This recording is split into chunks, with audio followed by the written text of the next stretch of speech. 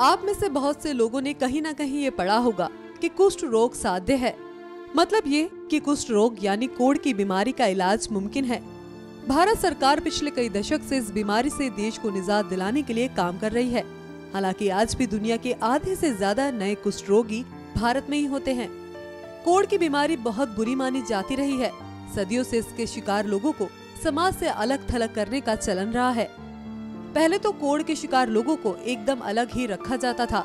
बाद में उनके लिए कुष्ठ रोगी आश्रम बनने लगे। आज भी देश में कई कुष्ठ रोगी आश्रम चलते हैं। सिर्फ़ हिंदुस्तान में ही नहीं, बहुत से पश्चिम देशों में भी कोड़ के मरीजों के साथ ऐसा ही सुलूक किया जाता था।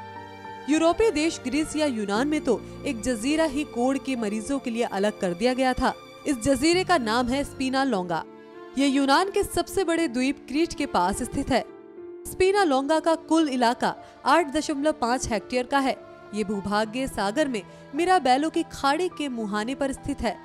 आज की तारीख में स्पीना लोंगा द्वीप पर कोई भी नहीं रहता। बहुत कम लोग ही वहाँ आते जाते हैं। ये द्वीप क्रीट के गाँव प्लाका से थोड़ी ही दूरी पर स्थित है, मगर उसमें बहुत कम लोगों की दिलचस्पी है। किसी जमाने में स्पीना लोंगा द्वीप एक बड़ा फौजी अड्डा हुआ करता था।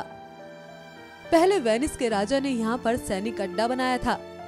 बाद में तुर्की के ओटोमान साम्राज्य ने यहाँ पर किलेबंदी करके रखी थी।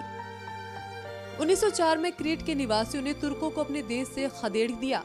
इसके बाद स्पीना लोंगा को कोड़ के मरीजों का अड्डा बना दिया गया। एक वक्त में इस द्वीप पर 400 के करीब कोड़ के मरीज़ रहा करते थे। क्रीट और यूनान के दूसरे हिस्से से कुष्ठ रोगियों को यहाँ लाकर रखा जाता था।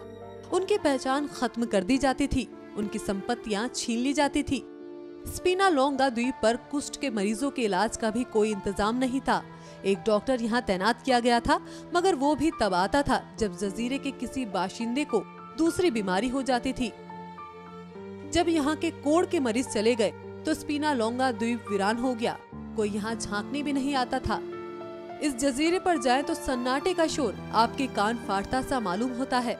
पुरानी इमारतों के खंडर मिलते हैं। कोड़ियों के लिए बनाए गए बाज़ार के सबूत हैं। एक कब्रिस्तान है। एक भट्टी भी यहाँ थी, जहाँ कोड़ियों के कपड़े जलाए जाते थे। 2013 में इन सभी हड्डियों को इकट्ठा करके एक बड़ी सी कब्र बनवाई गई। कुष्ठ रोगियों की कॉलोनी खत्म होने के बाद से आज कई साल बाद भी स्पीना लॉन्ग द्वीप वीरान पड़ा है। मगर ये अपने आप में इंसान के इतिहास को शर्मसार करने वाला पन्ना छुपाए हुए है। एनएमएफ न्यूज़ की रिपोर्ट।